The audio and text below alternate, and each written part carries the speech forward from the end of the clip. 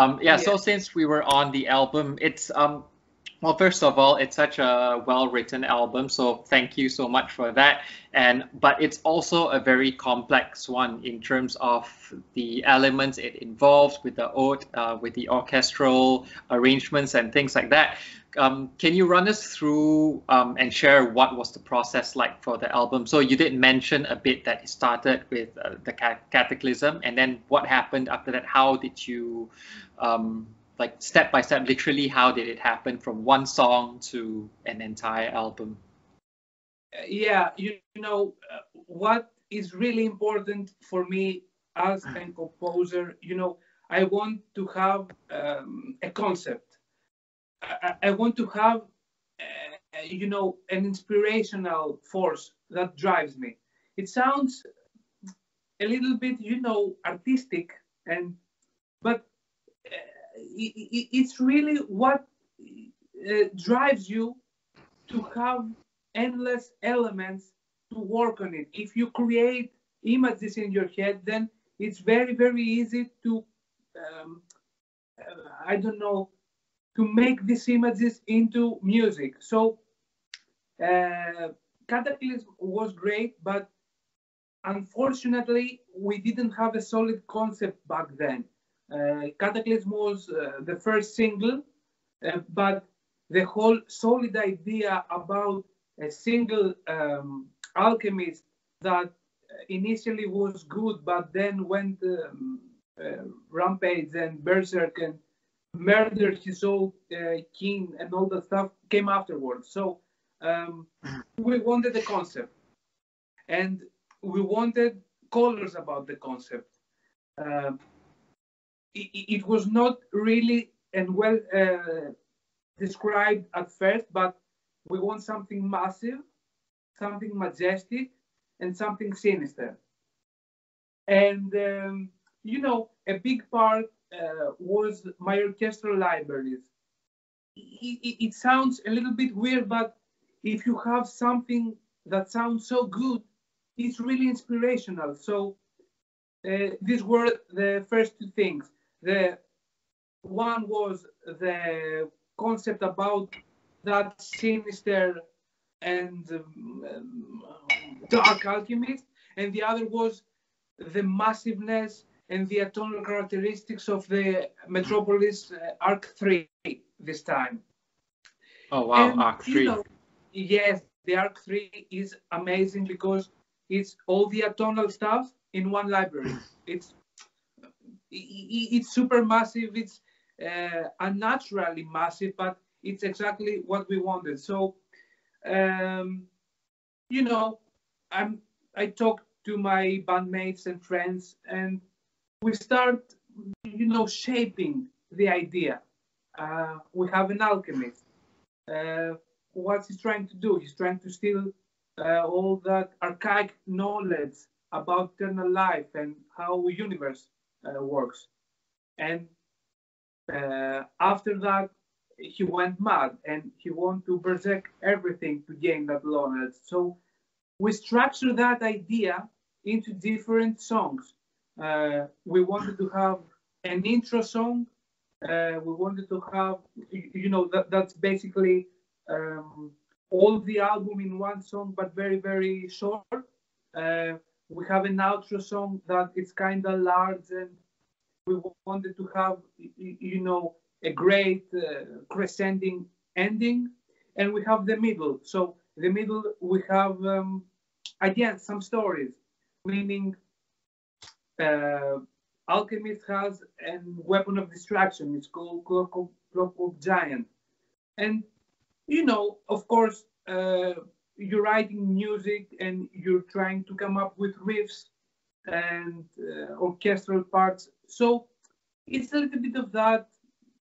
Uh, we, we don't have a specific way to construct a song, but that's roughly uh, our mindset. Okay, well, I think that's very helpful. I think it makes a lot of sense to have like a picture in mind because without that Yes. picture, you have no idea where you're heading, and then you you don't exactly know what sort of story you want to tell or what you're trying to describe or what you're trying to say. So I think I, I do agree in having that picture of what you want to achieve uh, visually, even if it's in your head. Um, I think that helps a lot, and it helps, like you said, you have the Metro Metropolis Ark 3, which is a massive. How many gigs is that?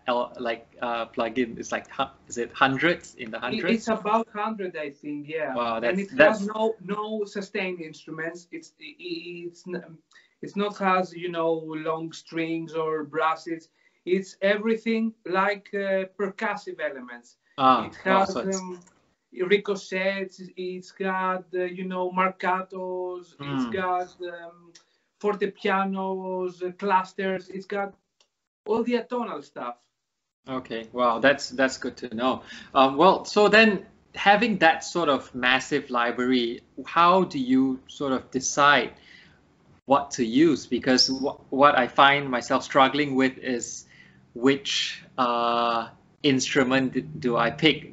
Say because I use the East West uh, cloud. I'm with the Cloud Composer now, so I have so many things. And then one of the challenges I find most of the time is like, okay, wind. You have so many choices when it comes to wind. Uh, horns. You have so many choices. You have percussions. You have so you have Persian. You have Asian. You have Chinese. Um, in your case, how do you decide and how do you sort of determine what is enough? Because there's always that temptation to add more instruments, isn't it? Yeah, yeah, there is, and uh, you know when you're orchestrating and composing for a trailer stuff, meaning you don't have the metal band with drums, uh, bass, and guitar, it's way harder because if you put um, few elements, it doesn't sound really as massive. There's always something missing, but I guess the easy part is when you're orchestrating metal music because less is more. Uh, a brass alone can be so massive in the metal context. But you know, again, uh, we come to the visualizing because I had a sound in my head, and everything I chose, uh, it, it, it was complementary to that sound. Um, we wanted to be something, you know, not so modern, but massive. Because and of course, I couldn't use any synthesizers. I couldn't use anything modern stuff. So I wanted something epic, dark, and majestic. So you know, uh, it was really easy uh, when you have a specific sound in your head. So you want, you have to be sure what you want to create first in your head. You have, you must have something solid, and then you will arrange your instrumentation accordingly. If you don't want, if you don't know what you want to achieve with your uh, instrumentation, then yes, it's going to be an endless journey, uh, looking for libraries and uh, oh, that sounds good, but it's out of context. But I don't have a context, so yeah, let's put that. Oh, now it's a cyberpunk. But I wanted to make something, uh, you know, more. Um, uh, more ancient or more uh, ethnic, but now it's something cyberpunk with uh, uh, Japanese uh, koto, and it's good. It's good, but if you don't have a solid idea, it's not that easy. So for me, what is working is I, I, I'm. I said to myself in the beginning, I want to make a cyberpunk track. I want to make a Doom-like soundtrack. I want to make, I don't know, and and then the instrumentation comes naturally. Of course, you you have to try, you know, every library uh, these days for you to be sure. And uh, when the need uh, comes up, you have to know what you're going to use. For example, um, if I want something atonal, I would go to Metropolis Ark 3. Or if I want something more, um, not that massive, uh, with slower dynamics, maybe I'd go to Metropolis Ark 2. And uh, that works for me to have, you know, a clear idea of what I want to achieve. That's it. Yeah, I think that's very true. If not, because um, with the amount of uh, plugins available today, the possibilities are just endless, and you can literally go uh, on and on and on and on forever, and um, also perhaps lose uh, risk losing that initial concept that you originally had. I mean, that's um, I mean, yeah, I mean, sorry, I mean, if you don't have a concept, you might actually go on and on to the point where you lose the initial idea.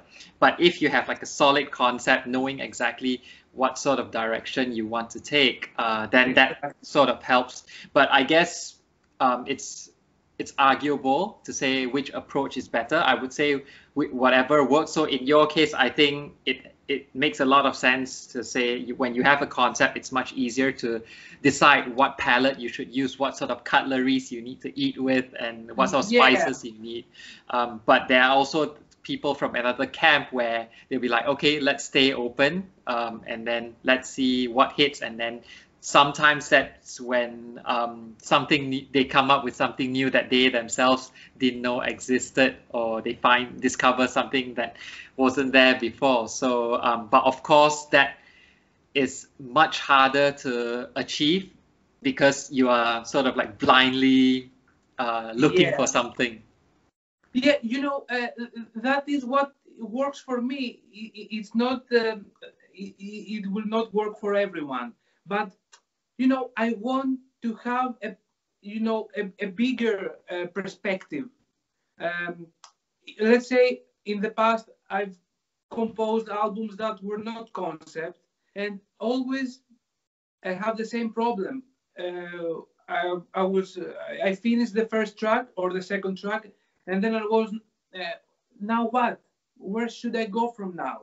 Uh, what should I create? I have a million different uh, conceptual elements and uh, you know orchestral elements. Uh, it, it's nice to have you know a multi-layered again album with different concepts, but it, it's not really easy for me. You know, I I struggle to change concept.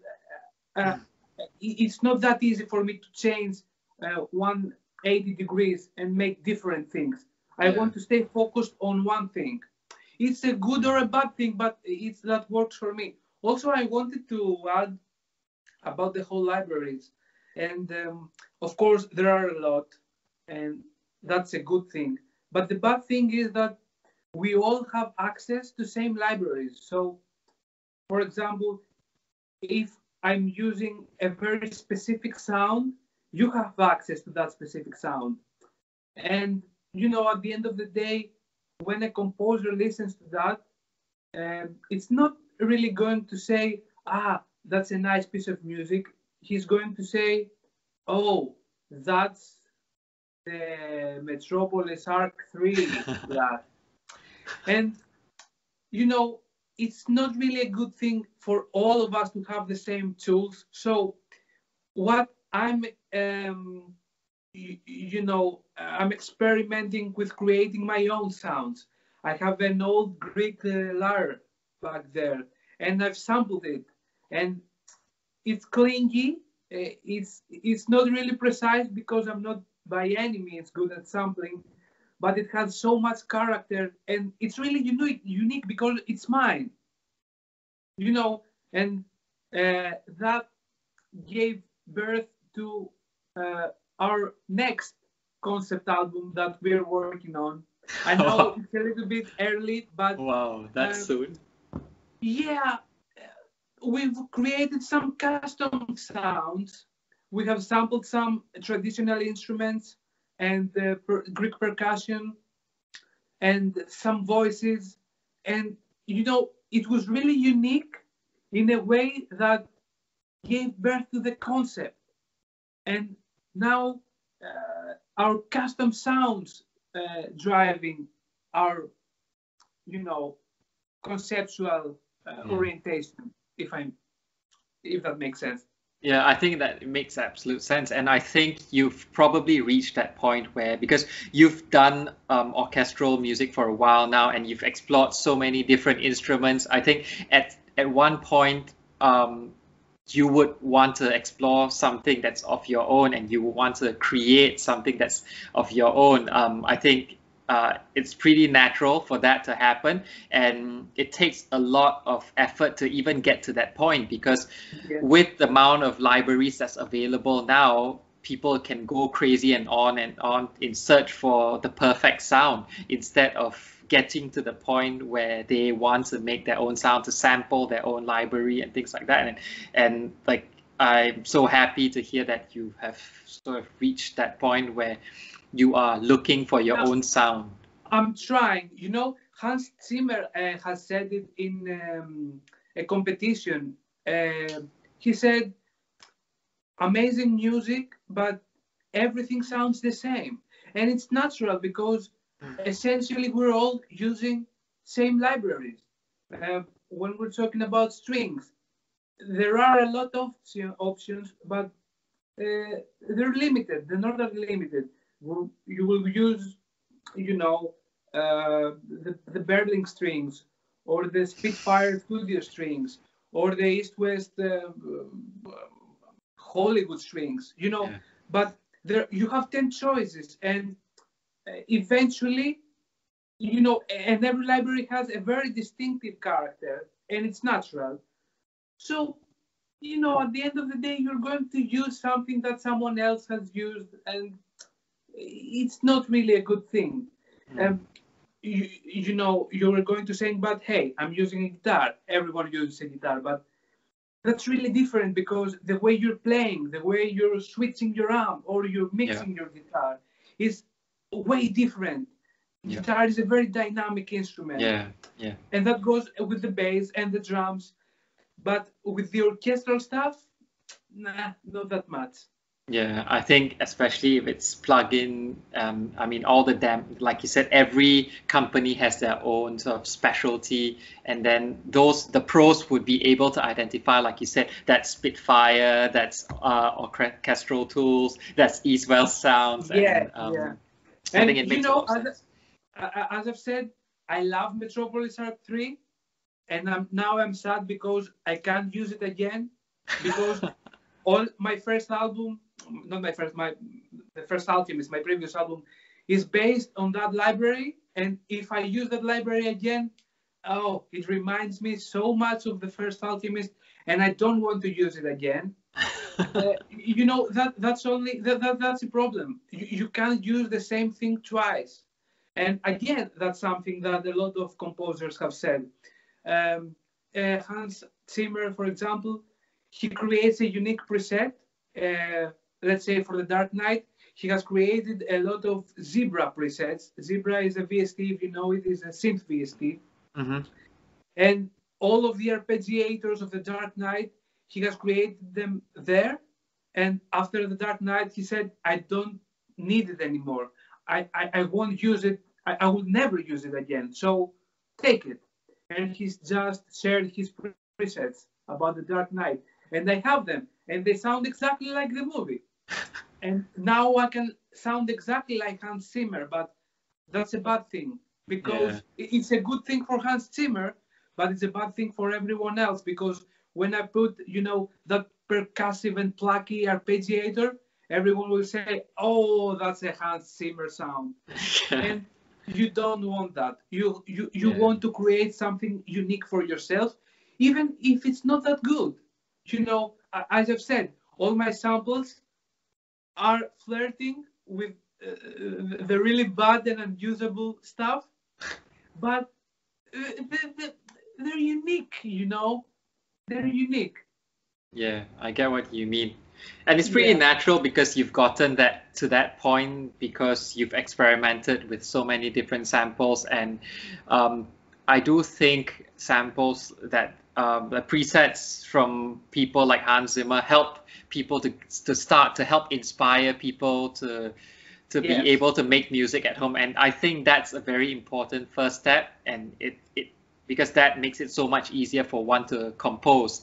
Um, it, it may sound the same, but people actually give composing a chance, and then from there, hopefully they'll find their own identity. They'll be like, yeah, I like this presets, but then it's lacking something that I need, but it's not there. And then hence the, the search for your own sound, which is what is happening to you now because you know that you can't find what you need outside.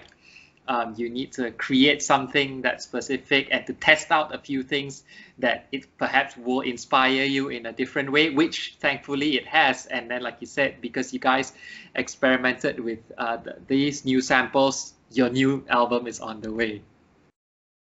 Yeah it's going to be a long um, you know procedure. It's not going to we're talking about one year maybe two uh, in a row because you know creating uh, it's really time consuming for us. Yeah. The only thing that is not time consuming is uh, when we record it and mix it.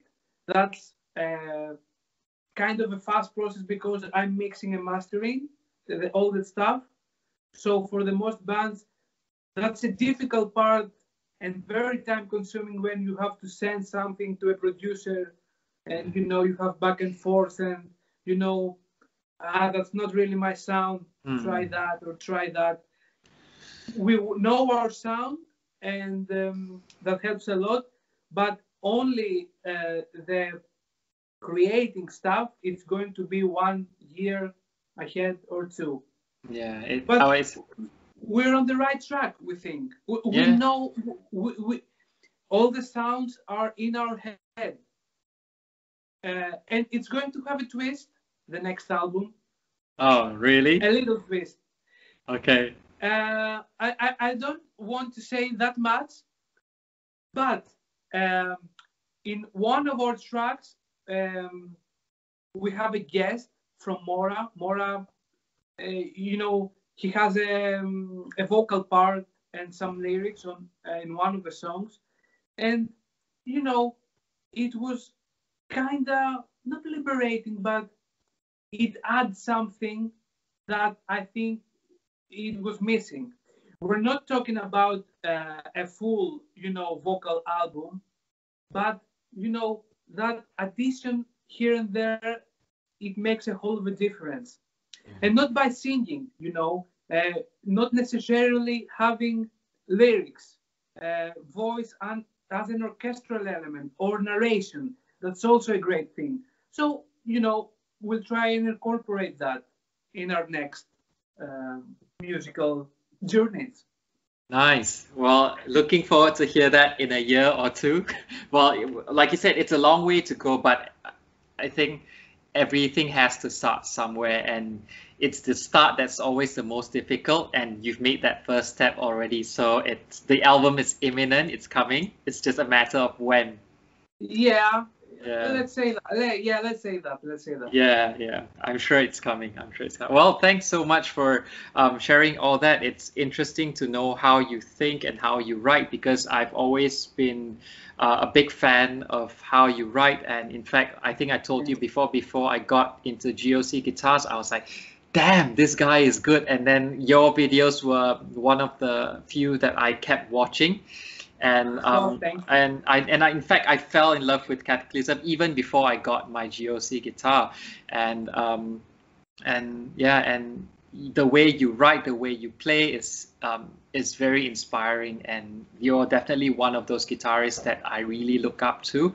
uh, technically, oh, and also the way you compose, and your ideas are just crazy, crazy, crazy. So are your skills. Thank you. You know, uh, I don't see it like way. I mean, I feel very humbled, and you know, it, it's really nice to hear uh, this kind of stuff from people, yeah, that you, you, really admire too. I love your playing, and oh.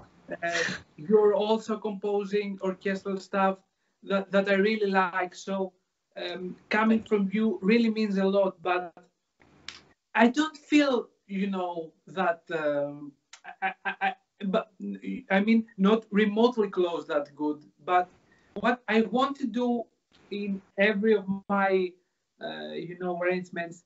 I want to be bold, you know. Uh, I, I, I don't want to be subtle, you know. I, I don't want to be, uh, how can I put, I, I want to make a very big, bold move.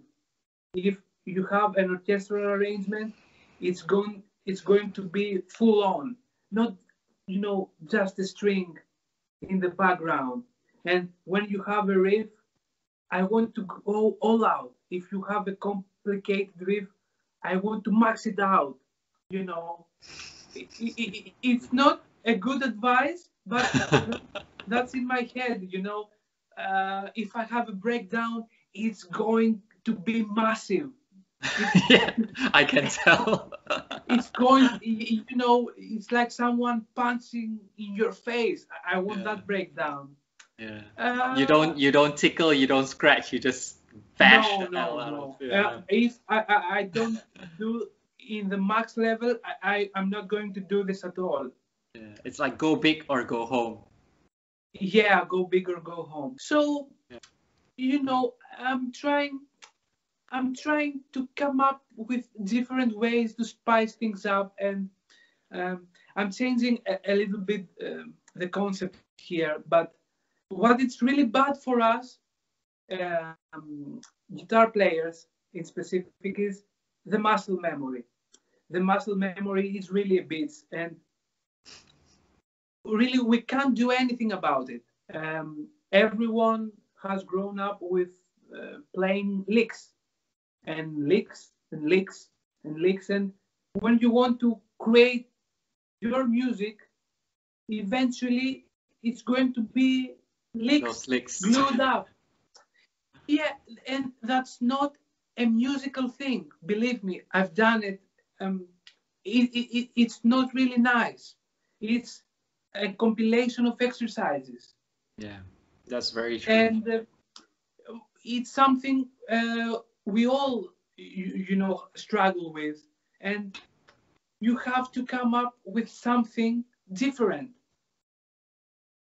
So, what are, I really find uh, helpful is, you know, change your interface. I'm only trying to change my interface. So, what I did is play everything I want in the piano. I'm a really bad piano player. Really, I'm I'm a, a terrible piano player. Uh, imagine that when I know what the tonality is, sometimes I have to count to be on the specific key. Uh, but that's great. You know why? Yeah. Because I have absolutely no muscle memory. yeah, you you, And- you you listen to what you're Yeah, playing. I, I'm, I'm, you know, my main uh, driver is my ear, and that's amazing. Also, another interface is another analog synth. A more I got myself yeah. an analog synth, and you know, you don't have anything. You, you, you- know, you don't have a pitch. You don't have, uh, you know, the pitch is created by blending some patch cables and also the rhythm. uh-huh. So you, you, never actually know what you're going to get, but you know that's again awesome eh, because there's no muscle memory. Of course, you know if you have a straight concept again, it, it will you will guide it uh, what you want to achieve. But um, in any case, changing your interface changes a lot. Yeah. And uh, the other thing uh, th- that's really amazing, and you know, guitar players are skeptical about it, is the Guitar Pro. You know the program. Yep. Yeah, where you program the the MIDI in there solely by sound. Yeah. it's got a bad reputation, I think, from some bands that, uh, you know, write everything in Guitar Pro, even the guitars, and then reamp the guitars and sounds uh, robotic and all that stuff. But it's a great program because most of the times when I'm writing in Guitar Pro, I'm not really playing. Yeah. Yeah, I'm putting numbers, but uh, again, my drive is my ear Yep. uh, not a shape. Yeah. that I've already played on the guitar because Yeah. we're not really improvising. We're just playing what we know in a slight different way, but that's not really helping us.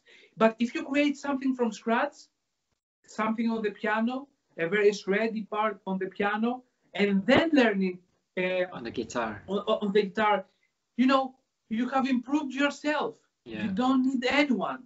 Yeah. You're just you, yeah. thinking kinda outside the box. Yeah, I get what you mean because muscle memory gets in the way, and at some point, um, guitarists start to feel that they're doing different things but using the same approach. And even though they're different songs, they all sound the same. And like you said, it's a compilation of licks, and regardless of how you try to be different, you change the tuning of the guitar, there's still some kind of similarity there because the fingers still play the same thing. Um, Yeah. So uh, yeah, I do think it makes a lot of sense to just completely change to something that you're not familiar with. So you're Yeah. only relying on what sounds good and not what feels good to your fingers. Yeah, there's a caveat, of course. Yeah. A lot of times I have uh, written something that I can't play on the guitar, meaning that's not playable. On the guitar. that's not playable by any means. But then again, it's also an amazing thing because you're trying to make something different. Yeah. Yeah. I do. so agree. yeah, the, the piano, uh, the piano keyboard was um, something phenomenal for me, and I think a lot of people, um, I think Jason Richardson um does that a lot. Uh, uh, you know, he's writing something on Guitar Pro Yeah. just by clicking on the keyboard and nothing else. But again, you know, it's it, it's a it's a good thing. It's a really Yeah. good thing. Yeah, I think one of his songs, uh, Tendonitis or something like that, um, he actually had like an arpeggiator. And then like he was Yeah. literally playing with that and then he learned the song on the guitar after doing it on the keys and that was how that song came about and it's exactly what you, you, you just said there. So it, it makes absolute sense to actually do that and that's what makes every track unique. You're still you because regardless of what medium you use, one thing that will never change is your ear because what feels Yeah. good and what sounds good to you uh, will will sort of be you with you still, but the difference is that you are sort of achieving you with a different medium and therefore altogether it's something completely new very fresh and it's not repetitive but at the same time people can still tell that's george. Yeah, yeah. And I, I- I think that that's also the good part because you want to be you, and you know, even changing all the stuff. It's nice to hear something and you're going and you tell, oh, that's Loomis, yeah. And I know that's Loomis because uh, because he follows you. Yeah. yeah you know yeah that that's that that's that's exactly it. And Yeah. you know trying to putting some strings you know in the past that helped me a lot going from the sixth to the seventh string and then the eighth string and then changing tunings and all that stuff. You, the bulk line is trying to change something if you want to come up with something different yeah even it's Yeah. beyond your comfort zone Yeah, that's very that's very true, and I think it's every time we go out of our comfort zone, if we survive it, that's where we create something beautiful, and that's where we actually get to the next level. And we did. It may be a small step, it may be a big step, but it's there's always some kind of progress if we successfully survive that whole mission of going out of our comfort zone. but we may not. Uh, and what i mean by that uh, in the last uh, in, my previous album um, a lot of stuff did not make it to the final uh, album. And I, i'm talking about highly experimental stuff and especially using the oud and by using the oud i mean our oud player tassos um, we're writing together some parts some parts are very good and they groove together. It's like you know they were meant to be together, but oh man, there are some parts that they are disgusting.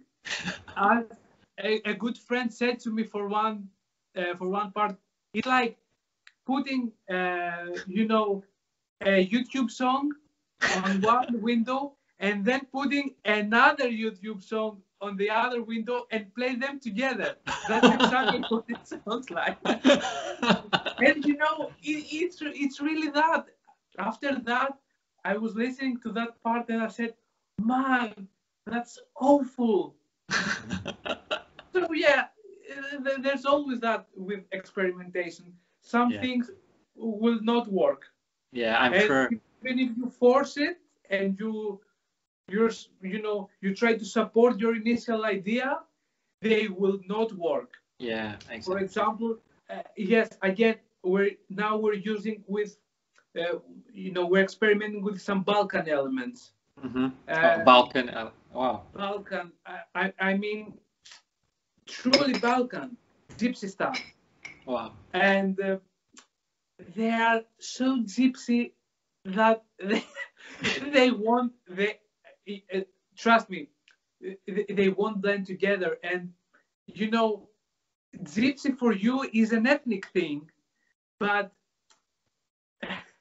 for us in Greece, we don't see it as you know that ethnic ethereal thing. Gypsy is a is more like a, a kids element that we're trying to avoid. Um, because obviously we are Balkans and we have all that culture, and from ethnic to kids, it's uh, fine you know, line. The line is very thin. But we have tried some things that I like, and no one else liked it in the band. Uh, Nikitas, our drummer, said, "We're not playing metal anymore." and up to some point, yeah, it, it wasn't metal, and you know, I have gone too far, and uh, the experimentation went a little bit too far. But okay, then I think we're back on track again. But you know, there's there's some limitations with uh, experimentation, and yeah. it's it's good to know it, or yeah. it, it will be all over the place. Yeah, I think that's that's bound to happen, but I think there's always a risk of hitting a wall where you've tried so hard to make something work, but it doesn't. And I think we can all agree as musicians is that we should never be too attached to an idea that we are willing to sacrifice everything else just because we want to force it to work. At some point, yeah we have to just make that hard decision and say, no, this is not going to work. It's a good part. It may be an excellent part, but if it doesn't suit the album conceptually or the song, it may go into the folders or it may just go into the trash. And um, we just have to be able to detach ourselves with those ideas um, sometimes. Yeah. Yeah, that's really so, frustrating. Yeah, yeah I know. it's a bit a bit sad, but it, it does have to happen sometimes. Yeah. Yeah so anyway like thanks so much for sharing so much about how you write and your thought process. So we're gonna jump to, to the next section